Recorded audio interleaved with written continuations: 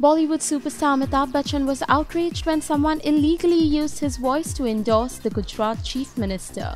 A video that uses his voice without permission has gone viral and creates an impression of him endorsing Gujarat Chief Minister Narendra Modi to become India's next Prime Minister.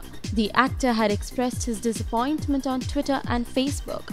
Big said, Fake, fake, fake. Appalled and angered by this illegal act on me, he elaborated.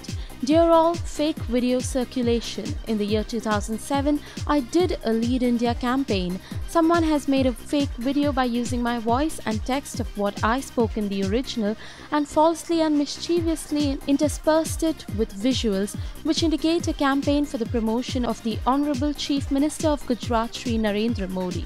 The act did leave Big B fuming. Anyways, you guys like this video, write in your comments and don't forget to subscribe to Bollywood Backstage.